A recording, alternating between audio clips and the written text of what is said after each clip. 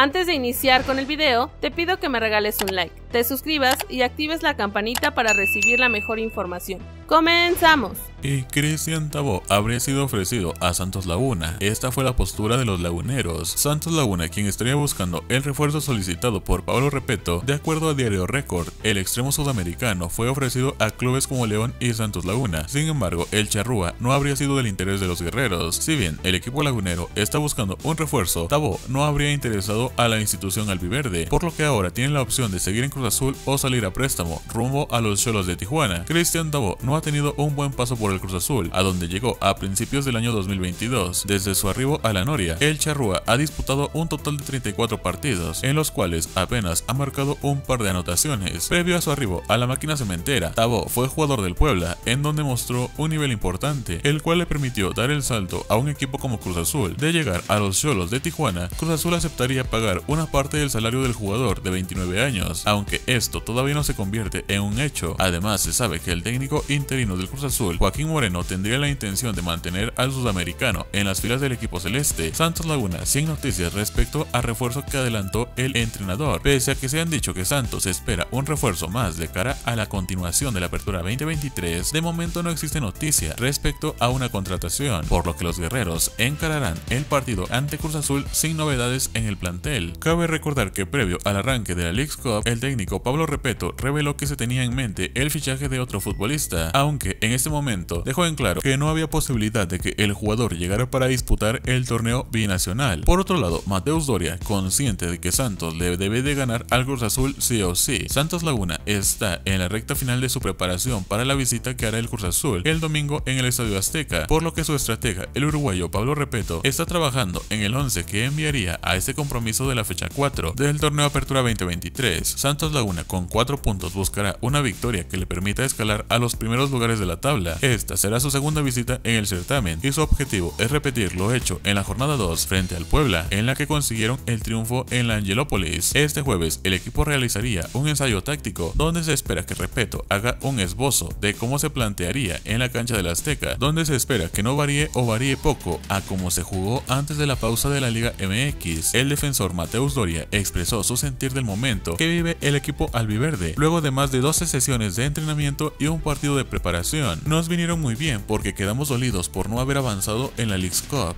algo que sentimos junto con la afición porque fue algo que no esperábamos. Literalmente fue un fracaso en un torneo internacional muy importante. Nos tocó trabajar aquí durante tres semanas, pusimos todo sobre la mesa, nos juntamos y platicamos en lo que debemos mejorar. Nos sirvieron bastante para trabajar físicamente, en defensa y en ofensiva, expresó el futbolista. Del encuentro ante Cruz Azul, Doria expuso que espera un partido muy importante en la reanudación de la Liga MX. Si un equipo logra una o dos victorias, se coloca en la parte alta, entonces necesitamos ganar. De los próximos encuentros, el central mencionó que no hay nada mejor que encarar pruebas contra equipos importantes, pruebas con equipos grandes. Entonces lo ve como algo positivo, porque necesitamos demostrar para lo que estamos, entonces hay que salir a ganar sí o sí. Destacó la mentalidad albiverde, afirma que buscan estar en los primeros cuatro lugares para pelear por calificar directo a la liguilla. Siempre vamos paso a paso para no dejar para el final lo que pudimos hacer antes. Los puntos de este inicio del torneo son igual de importantes que los últimos, entonces tenemos que encarar cada partido como una final y buscar los tres puntos, apuntó. Y bueno, hemos llegado al final de las noticias de hoy. No olvides comentar ahí abajo qué te parecieron. Da like, suscríbete al canal y activa la campanita para así traerte siempre más y mejor información. Hasta la próxima.